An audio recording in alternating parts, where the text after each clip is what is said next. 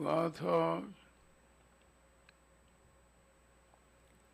واژه اوستایی و هم به اوستا و هم به سانسکریت سرود رو گاتا می‌گوید سرود گاتاست. به فارسی یکی شده گاه و بیش از یکی گاهان ما افسوسه که گاهان رو فراموش کردیم و گاتا گاتا که باید گفت پژوهشگران اروپایی بر زبان ما انداختن و باز برگشتیم به اوستا و گاتا سرود. چرا سرود؟ برای اینکه پیام خود را زرتشت به سرود به شعر به ما رسانده. چرا؟ برای اینکه چیزی که آریاییان یا هند و ایرانیان اون رو با ارزش می‌دانستن اون سرود گفتنه. اینه که همه هرچه پیامی که در زمان خودشون داشتن همه رو به سرود برگردوندن همه رو به سرود برگردوندن چرا؟ برای اینکه خوبی سرود اینه که اون رو از در زمانی که نوشتن و خواندن و اینا نبود ما سرود رو از بر می کردیم و سرود رو نمیشه دست اندازی توش کرد کم و بیشش کرد چون وزنی که داره باید همون وزنش نگه داریم و کار به جایی رسیده که من در خود هند دیدم کسانی یک تن نه بلکه چهار یا پنج تن از پیشوایان باور هندی سه ساعت از بر این سرودها رو داشتن. ما خود مادر من که کم سواد بود مادر من هزار بیت از شاهنامه از برداشت و من کسانی رو می‌شناسم که هفتاد هزار بیت تا چهل هزار بیت از بر داشتن و استادان دانشگاه تهران بودند و روانشون شاد باشه. اینه که زرتشت کاری کرد که همون سرود. ولی حالا بیایم ببینیم این زرتشت پیام خود را در چند سرود داد. ما هنگامی که نگاهی به رگودا می‌کنیم که همون هند و آریایی پیش از بسی پیش از زرتشته و در زمان زرتشت رگودا کما بیش 500 600 سال از نخستین سرودش تا دومین سرودش. این بود.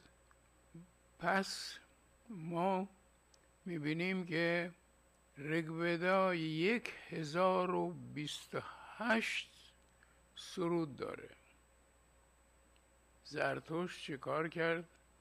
پیام خود را به چند صد؟ سرود به ما رساند. هیوده باور نکردنی. هیوده سرود که این سرودهای زرتشته که اگر گزارش رو کنار بگذاریم تنها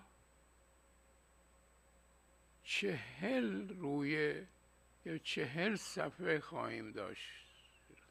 نیم میشه. این رو با ما رسونده.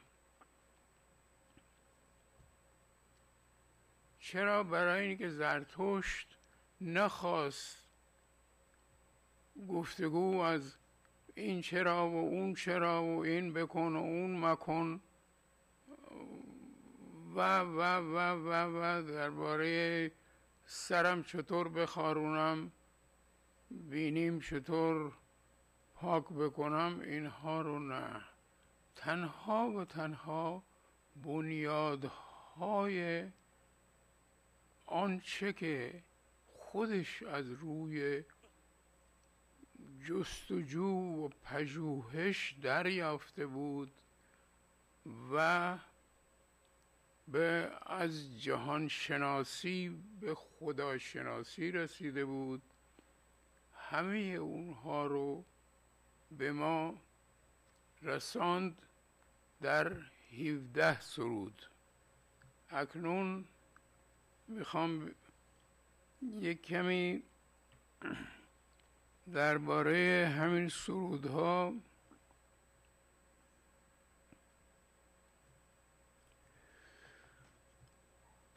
گاه یکم یا یکی از بخشای گاتا که یکمه اون نامش آهون و ویتی گاتا که ما آهون ودگاه یا آهون ودگات میگیم. این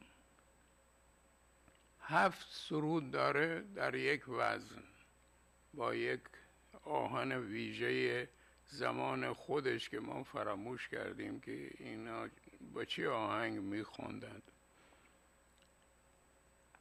پس از اون آهون ویتی آهون ویتی آهون ور یک بندی است که اونو آهونور میگیم یا یتاهو میگیم.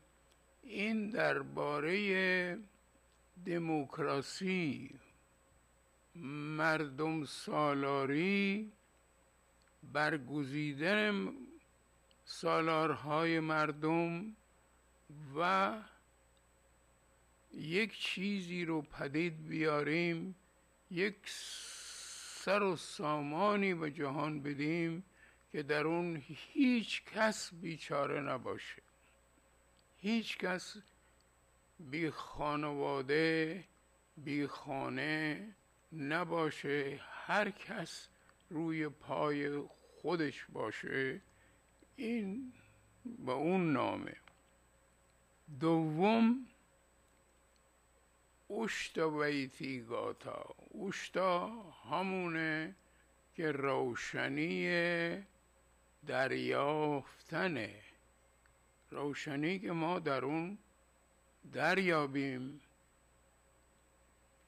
چه چیزی چه چیزهایی در جهان در گردشند چه چیزهایی ما داریم.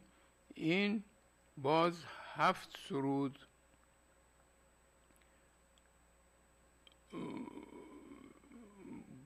میبخشید چهار سرود و گاه سوم اسپنتا میتی اسپنتا میتی گاتا.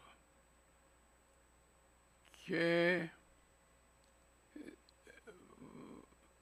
دانش افزون و دانش پیشرو رو پیش می کند و به ما می آموزد این باز چهار سروده گاه چهارم وحوخ شطر ویریا یعنی همون مردم سالاری نیک برگزیدنی. گفتگو نه تنها از دموکراسی باید دموکراسی درست باشه که مردم رو همه رو آباد و شاد بکنه. اون همونطور چهار سرود داریم. گاه پنجم وحشتا اشتی که یعنی خواهش بهترین خواهش و بهترین نتیجه رسیدن رو اون رو زرتشت میخوا که یک سرود و همش همینه و پس از اون با یک بند اینو به پایان میرسونه. زرتشت به این پنج آهنگ که در اون زمان اینها آهنگی بودند و هر کدام را مردم آنچنان که در اوستا آمده مردم میخواندند. در حتی کسانی که کشاورزی می‌کردن کشاورزی خودش می‌کرد و گاتا می‌خوند. یا در کاروان می‌رفتن همه کاروانی یا هم آواز می‌شدند و سرودهای زرتشت میخواندند تا زمانی که اون رو درست میفهمیدند و ما می‌بینیم که گاهان را تا زمان هخامنشیان خوب می‌دانستند. چون هم همون سان که ایشون گفتند کوروش هر کاری که کرد همه رو از خود پدافند یا دفاع کرد. هنگامی که اونهایی که تاخت می‌خواستن بتازن بهش و یا تاختن اونها رو شکست داد هیچ کدومشون نکشت. آبادشون کرد و درست فهماند اونها رو که چه کارهایی بکنن که با آرامش و آباد و شاد باشند این کار هم در لیدی کرد و هم در بابل کرد. هر دو فرمون روایان اونجا رو هم نکشت بلکه تا پایان زندگی اونها اونها رو خوش نگه داشت. بجای این که بکشه. یعنی کشتن را هیچ کسی رو نباید کشت. این پیام زرتشته. تا اینجا من رسیدم آیا درباره این گفتگو بکنم که روی هم رفته زرتشت چی می‌گوید یا اگر می‌تونین یه پرسشی که دارم در گاثاس زرتشت خودشو چی میدانه خودشو مانتران میدانه اندیشه انگیز و همه پیروان خودش و همه پیروان رو پیام رسانان خدایی می‌داند. اون پیامی که اون دریافته بود و باید گفت پاک و پاکیزه بود اون رو می‌گفت که ما همه باید برسانیم.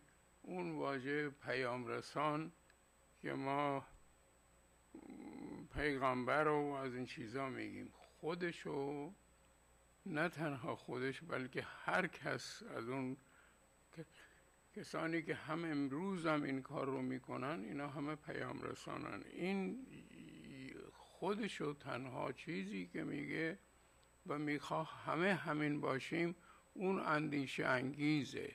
یعنی یکی از کارهای و بنیادهای زرتشت اینه که مردم دانا باشن. نادان نمی‌خواه باید دانا هرچه بیشتر بهتر.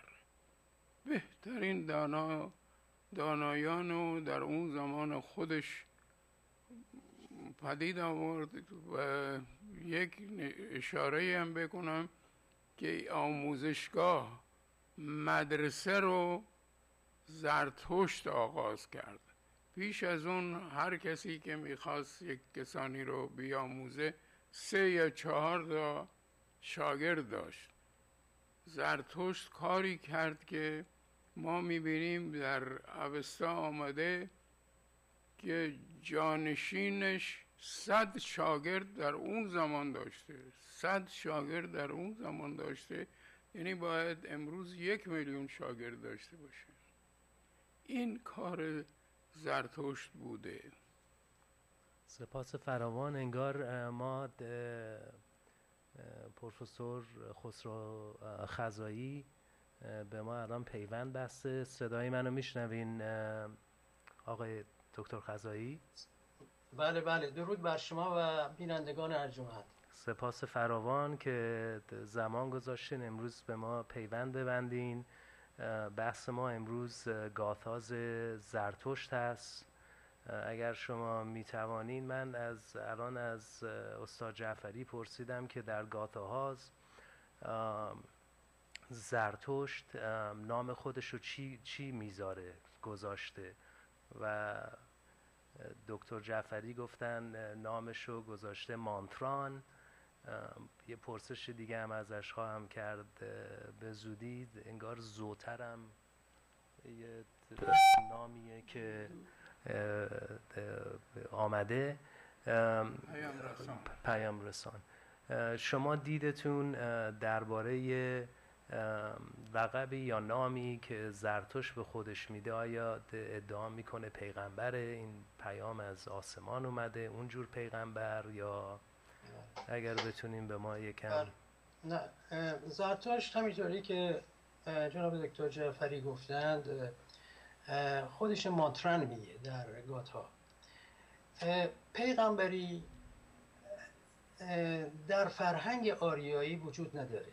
فقط و فقط اختصاص داره به فرهنگ سامی که از 124 هزار پیغمبر گفتگو می‌کنن فرهنگ سامی یعنی از یمن بگیریم از از عربستان سعودی بگذریم و از عراق و اردن و بخشی از سوریه و فلسطین و اسرائیل.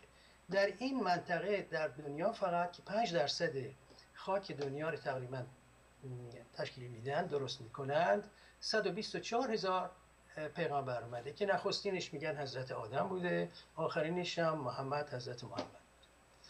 بنابراین یکی وقتی نگاه می‌کنیم ببینیم که آیا خارج از این منطقه خاورمیانه سامی پیغمبر دیگه هم وجود داشته. حالی ایران می‌ذاریم کنار برای یک دقیقه. ببینیم که هیچ پیغمبری از هند ظهور نکرده. از کشور یک میلیارد و سیصد میلیون نفری چین هیچ پیغمبری ظهور نکرده. میایم در قاره اروپا می‌بینیم هیچ پیغمبری اثری از پیغمبری نیست. میریم در آمریکا. آمریکایی شما هستید می‌بینیم که هیچ اثری از پیغمبر نیست نه در میان سرخ پوستاش نه در میان سفید پوستاش نه سیاه پوستاش. میریم در آفریقا میریم هیچ کس نگفته من پیغمبرم. بریم در قاره استرالیا اونجا هم هیچی نمی‌بینیم. کل 124 هزار پیغمبر از این منطقه سامی اومده که تمامشون هم به, به خدای خودشون که یهوه یا الله می‌گفتن به یکی از شاخه های زبان های سامی گفته بود کردن مانند آرامی سوریانی نباتی عبری و عربی. به هیچ روی ما ندیدیم که یک پیغمبری به زبان آریایی یا به یکی از زبانهای آریایی با خدای خودش گفتگو کرده باشه. بنابراین پیغمبری که یعنی یک نفری واسطه میشه میان خدا و آفریده هاش که بنده بهش میگن این وجود نداره در فرهنگ آریایی.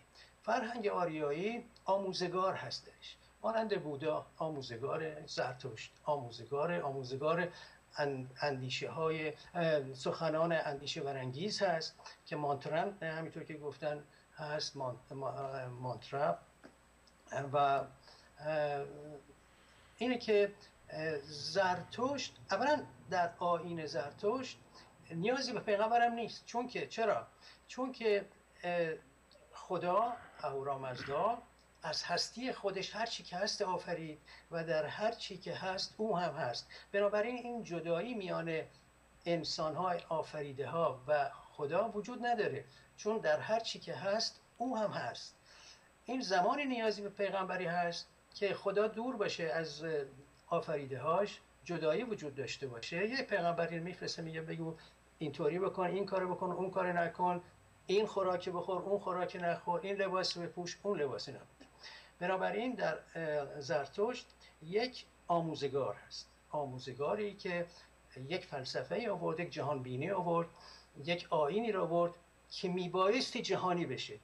ولی بدبختانه به خاطر اون عوامل تاریخی که همه می‌دونیم نشده. و تا حالا یک کمی جلوگیری شده ازش که امیدواریم که در این قرنی که ما زندگی می‌کنیم با توجه به بیداری وجدان تاریخی نسل جوان در ایران به در ایران که باید از اینجا شروع بشه بشه این رستاخیز نوین آین زرتشت به وجود آورد و این آین همون که همون طوری که برازنده این فلسفه هست و جهان بینی هست جهان گیرش کرد. بله سپاس فراوان پروفسور خزایی.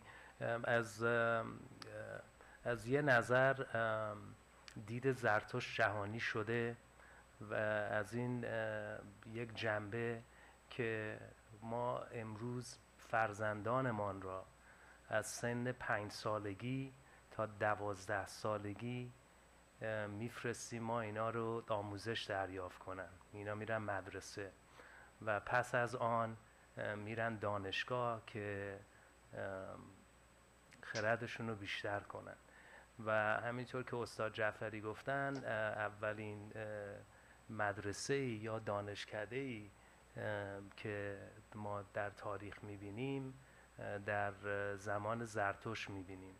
من در کالج پروفسور داشتم به نام پروفسور راس که پروفسور راس به من گفت که اون موقع یه امپراتوری بود در اروپا به نام پراشن امپایر پراشن که بسیار بزرگ بود از شوروی می‌رسید تقریبا به آلمان و این امپراتوری پراشا اولین امپراتوری بود در اروپا که مثل امروز مدرسه برای همه باز کرده بودن و همه آموزش می گرفتن و این سیستم تحصیلات یا ایژوکیشن پراشن امروز در اروپا همه جا هست در امریکا همه جا هست و تقریبا در جهان.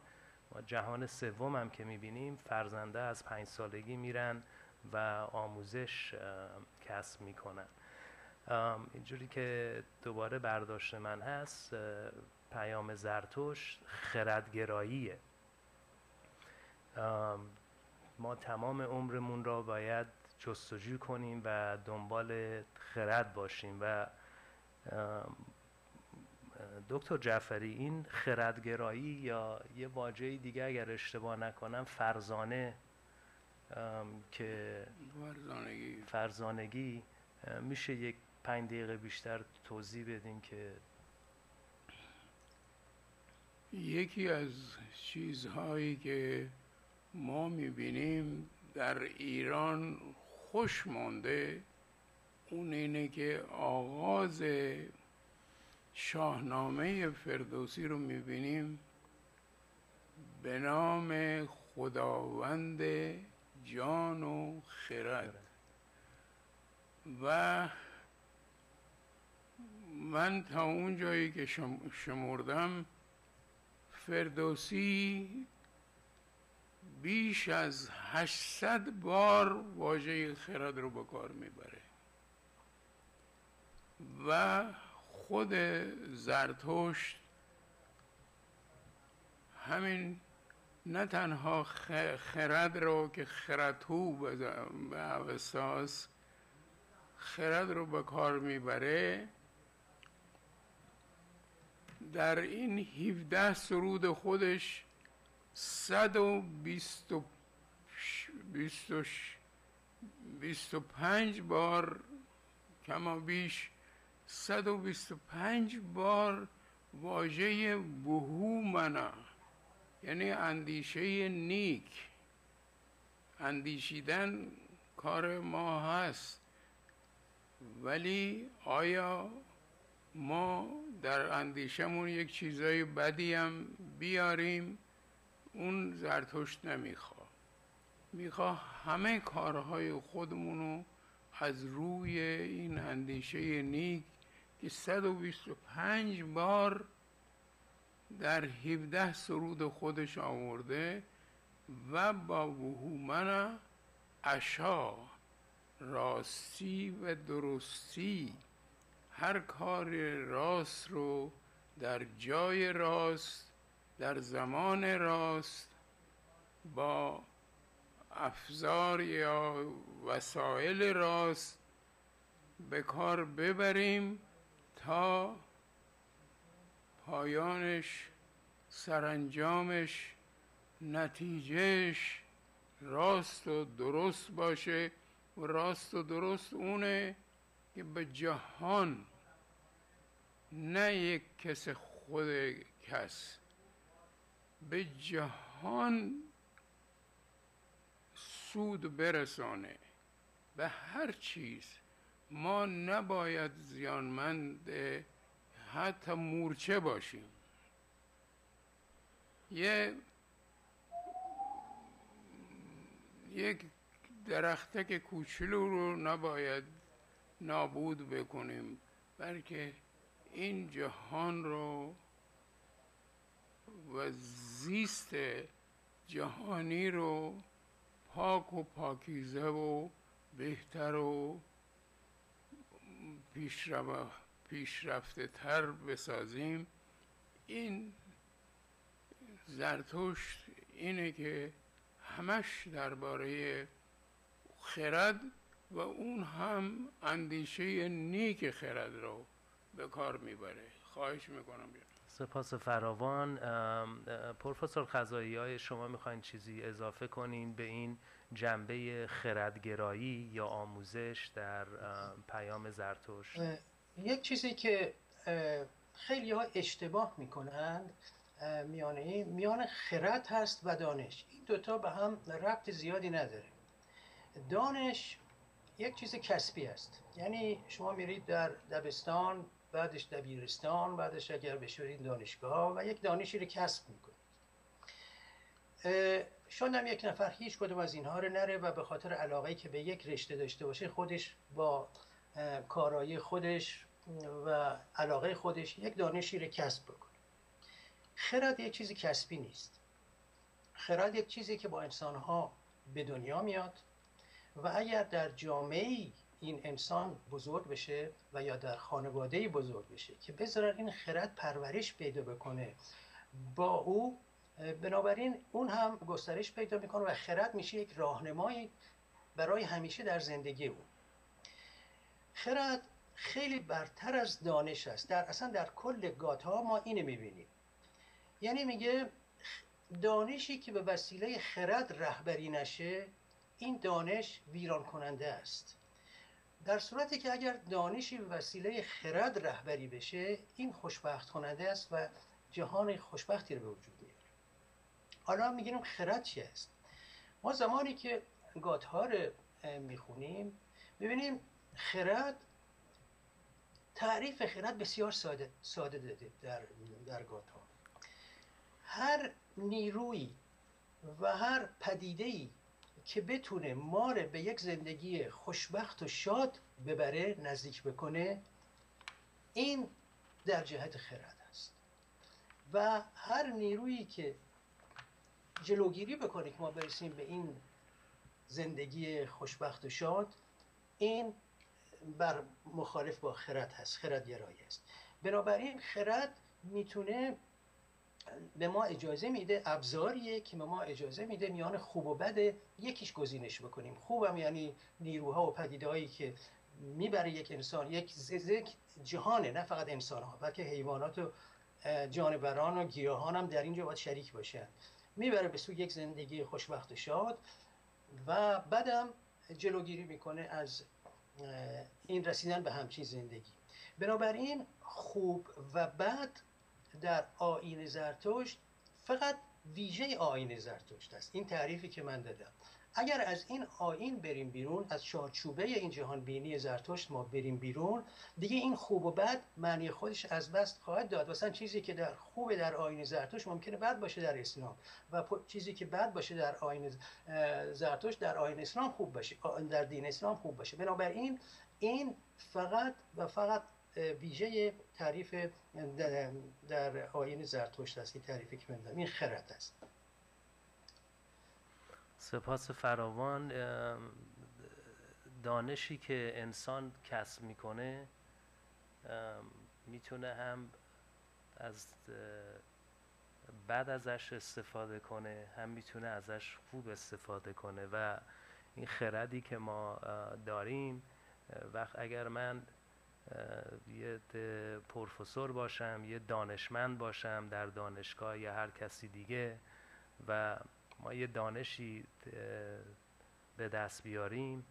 ما می‌تونیم این دانش رو هم گفتم از طریق دروج استفاده کنیم یا می‌تونیم بذاریم و از طریق عشا استفاده کنیم. این فرقیه که بین دانش هست و دانش خردی که در همین امریکا و در انگلیس ما بهش میگیم knowledge. Knowledge یعنی دانش. ولی با دانش یه خرد دیگه هم هست اون اشاس یعنی ما چریختی این دانش رو به طریق خوب استفاده می‌کنیم که هممون سودمند بشیم و این دانشی که داریم این چیزهایی که داریم اختراع می‌کنیم از روش بد استفاده نکنیم که به انسانها، گیاهان، حیوانها صدمه ای نزنه. من یه شعر کوچیک یک تیکه کوچیک که میگه میازار موری رو که دانکش است که جان داند دارد جان شیرینش خش است. من هشت سالم نه سالم بود از ایران رفتم به انگلستان. بعضیا بهش میگن انگلیس انگلستان و زبان آریاییم یا آموزشی که در ایران گرفتم به زبان آریایی. این این واژه یادمه و می‌دونم چقدر شیرین و زیباست که فرهنگ ما رو نشون میده که ما چقدر به جانورها، گیاها و محیط زیست احترام باید بذاریم چون زندگی و جان ما رابطه داره. ما, ما تنهایی بدون آب و هوا و گیاهان نمی‌تونیم زندگی کنیم. به هم وابستگی داریم. استاد جعفری در مزدا که ما میگیم مزدا می‌دونم امروز ما واژه خرد رو میگیم. ولی این ویزدم که به زبان انگلیسی هست این مزدا هست که هم دانش رو به یاد یعنی هم دانش و اشا توشه. یعنی این دانش رو کسب می‌کنیم که از طریق اشا استفاده کنیم. بهش میگم wise wisdom or wise person. بله ولی خود مزدا ابر دانش یعنی دانشی که بسی بالاتر از دانشای پایین باشه. ابر دانش و اهو مزدا اهورا یعنی ابردانش هستی ابردانش. آن کسی که هست و خوبی زرتشت اینه که یک تاشناسی رو هنگامی که خودش دریافت و جهان گفتم از جهان شناسی به خدا شناسی رسید اون همین دید. در گاتا یکی از خوبی های گاتا باز به یادم اومد اون اینه که زرتشت در این 17 سرود 93 پرسش داره. 93 پرسش داره و خوبی استاد باید گفت استاد سخن این است که این سخنور هنگامی که ما هر پرسشش رو می‌بینیم می‌بینیم پاسخش در اون هست. و این پرسش ها بود که زرتشت رو به اینجا رسون که خودش در همین گاتا به ما میگه که این جهان بسامانترینه در گردش خودش. آنچه که اون در زمان آسمان و زمین و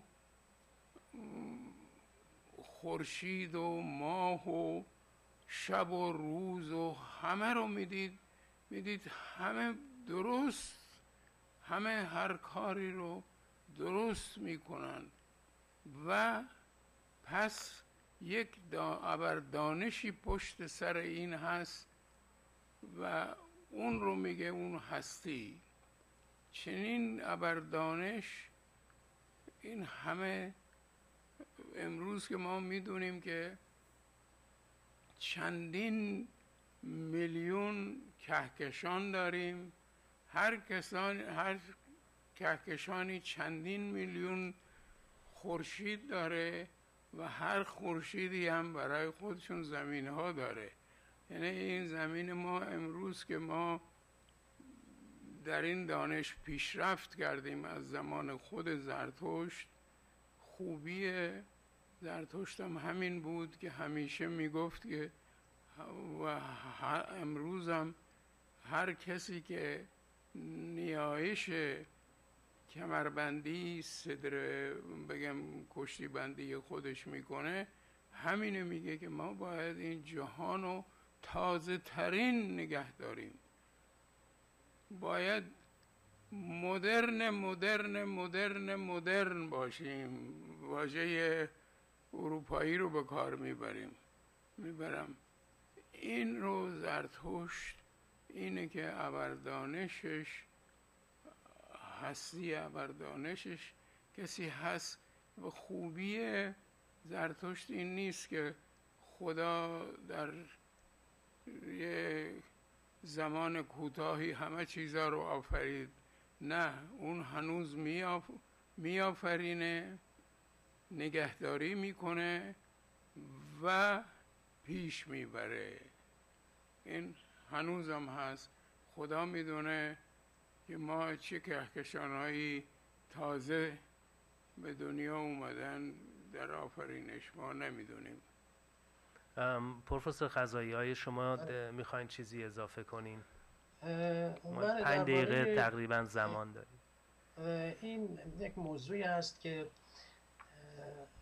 شاید بحث انگیز باشه. چندی پیش من در یک سخنرانی اینجا برای فرانسوی زبان البته برای خارجی مطرح کردم. خیلی جنجال به پا کرد و خیلی بحث شد ولی حالا میگن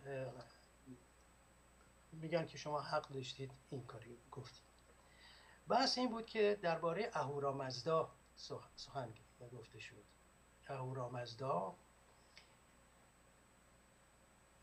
میگه که اهورامزدا در اندیشه خودش یک جهان خوشبختی رو درست کرد و که همه خوشبخت بودن همه هر چی که می‌خواستن داشتن.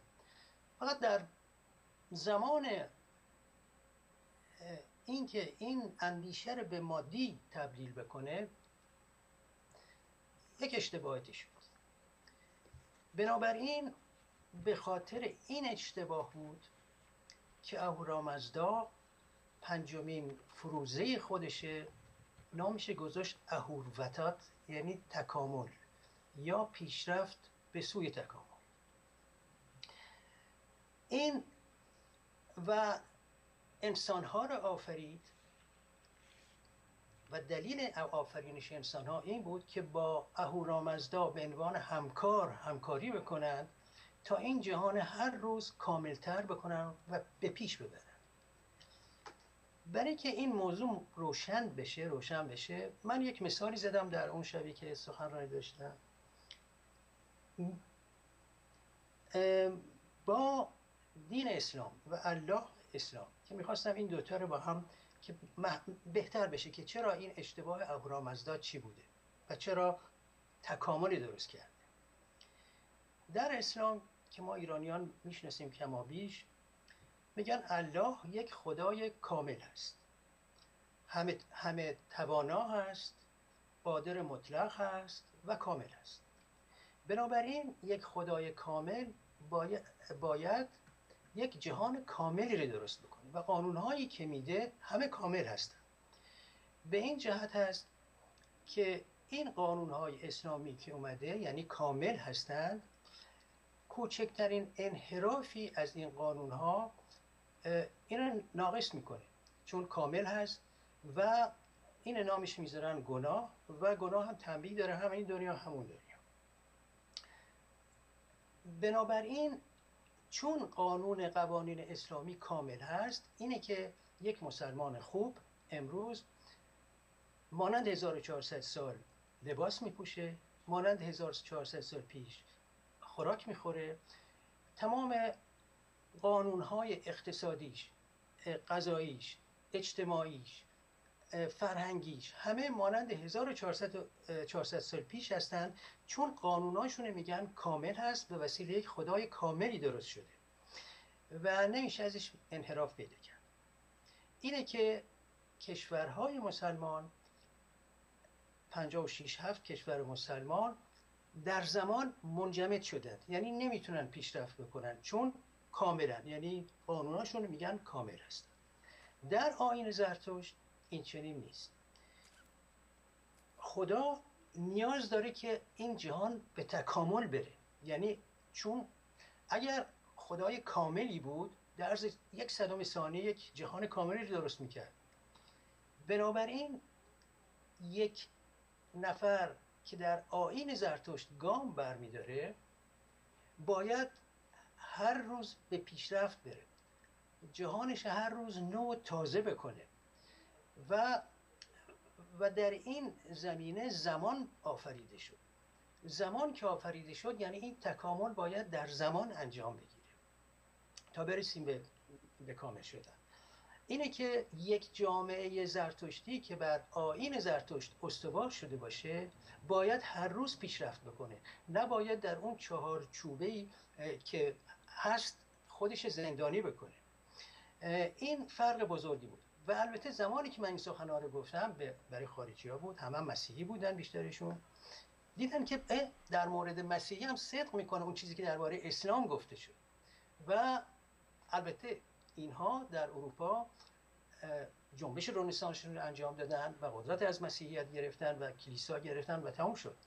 ولی زرتوش چهار هزار نزدیک به چهار هزار سال پیش تکامل برای انسانها گذاشت. و این یکی از بزرگترین دستاوردهای که یک نفر چهار هزار سال پیش به بشریت ارمغان کرد. اینه می‌خواستم فقط بگم بله سپاس فراوان. ما آریایی ها در فرهنگمون این هست که جهان رو هر روز باید بهتر بکنیم. این جهانی که آفریده شده تا یه حدی ایدئال هست و داره به سوی تکامل میره که اگر چیزهایی که ایدئال درش نباشه به مرور زمان و تکامل ما می‌رسیم به اون جهان ایدئال و هر روز که پا میشیم و این کشتی رو میبندیم این عملیه که ما به خودمون میگیم که امروز من میرم در این جهان و جهان رو می‌خوام بهتر کنم زیباتر کنم و خورسندی بر این جهان بیارم و خورسندی بر برای دیگران بیارم.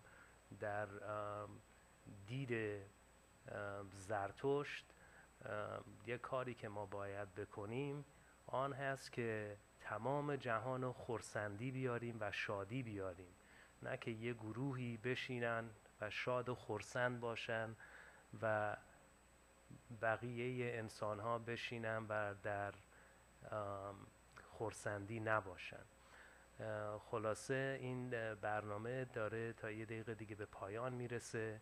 سپاس فراوان از دوتا مهمانان ما دکتر جعفری پروفسور خزایی که اومدن اینجا و یه روشنایی پخش کردن یه نور زیبایی به ما پخش کردن و بینندگان و شنوندگان ما و ما آریایی ها ایرانی ها باید بسیار بسیار افتخار کنیم از این فلسفه ای که به میهن ما اومده که به اروپا رفت.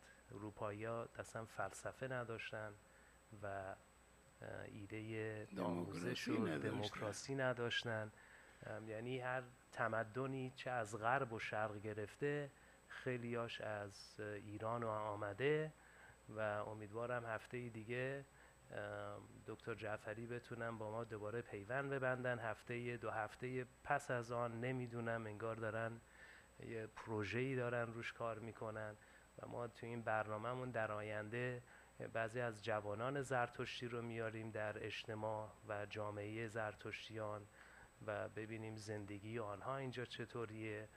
شاید موزیسین بیاریم. اینجا ما یکم از سرودهای زرتوش بتونیم بخوانیم و چهره های دیگر رو ببینیم. امیدوارم هفته زیبایی داشته باشین هفته خوشی داشته باشین همتون تندرست باشین. در تا هفته آینده بدرود و اوشتا و خدا نگهدار همه شما باشد. خدا نگهدار. خدا نگهدار.